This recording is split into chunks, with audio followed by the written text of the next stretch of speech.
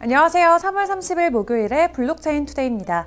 오늘 우리 시장에 전해진 주요 이슈들 함께 확인해 보겠습니다. 먼저 글로벌 주요 이슈부터 확인해 보시죠. 미국 연방예금보험공사가 시그니처 뱅크의 암호화폐를 예치한 고객에게 다음 주까지 해당 자산을 현금화하거나 다른 은행으로 이체하라고 요청했습니다. 앞서 시그니처 뱅크는 자산 대부분을 플래그스타 은행에 매각했는데요.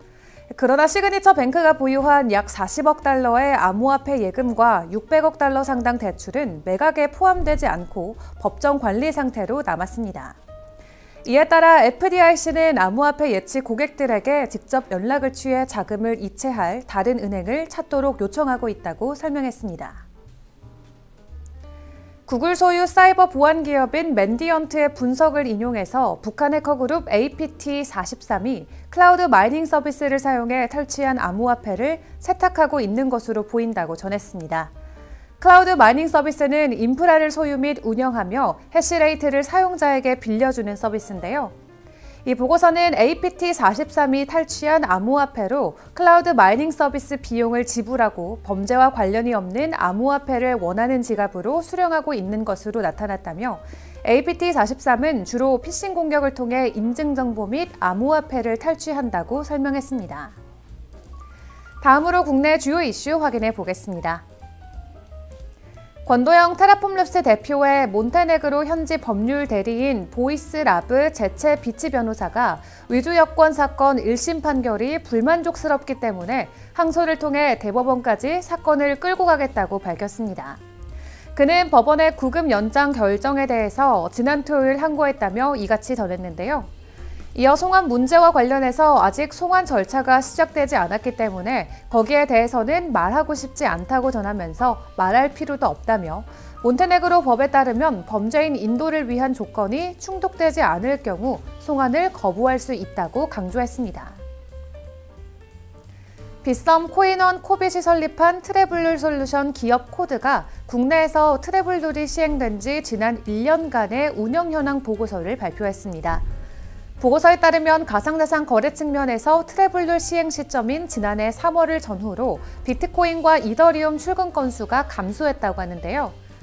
보고서는 이는 트래블룰 시행의 초기 혼란으로 출금이 제한되거나 불가능해진 현실이 영향을 미쳤을 것으로 추측했습니다. 거래 금액도 줄었다고 하는데요. 2022년 4월부터 국내 5대 거래소 전체 거래 금액이 하락하는 모습을 보였습니다. 또한 트래블룰 시행은 거래소 쏠림 현상도 야기했는데 코드는 트래블룰 시행 직후 거래소들이 새로운 규제 적용을 위해서 일시적으로 입출금을 중단한 사이 투자자들이 1위 거래소로 이동했다고 추측했습니다. 이어서 규제 관련 소식들도 짚어보겠습니다. 영국 재무부가 암호화폐 기업의 자체 광고를 승인하는 내용이 담긴 법안이 올해 말 시행될 예정이라고 발표했습니다. 해당 법안은 영국의 금융감독청에 등록된 암호화폐 기업은 다른 중개업체를 거치지 않고 자체적으로 광고할 수 있도록 승인하는 내용을 포함하고 있는데요. 암호화폐 기업이 광고와 관련해서 제3자 기업을 거치게 될 경우 5천에서 1만 5천 파운드의 비용이 부과되는 것으로 추정되고 있습니다. 재무부는 이와 관련해 법안의 목표는 오해의 소지가 있는 암호화폐 광고로부터 소비자를 보호하는 것이라고 설명했습니다. 캐나다 금융감독원이 연방 규제를 받는 연기금이 암호화폐 자산 노출을 공개해야 한다고 주장했습니다. 이러한 움직임은 FTX 파산 및 실버게이트 은행과 시그니처 은행의 붕괴에 따른 것으로 나타났는데요. 이 외신은 실제로 캐나다 내 연기금 중 퀘벡 연금기금은 암호화폐 투자로 인해 1억 5천만 달러의 손실을 입었다며 온타리오 교사연금도 9,500만 달러의 손실을 입은 상황이라고 전했습니다. 2023년 예산안에서 관련 가이드라인에 대한 협의가 진행될 예정입니다. 오늘 시장에 전해진 주요 소식들 함께 확인해 봤습니다. 코인 개별 이슈와 차트 분석은 정오에 방영되는 블록체인 투데이 플러스에서 함께하겠습니다.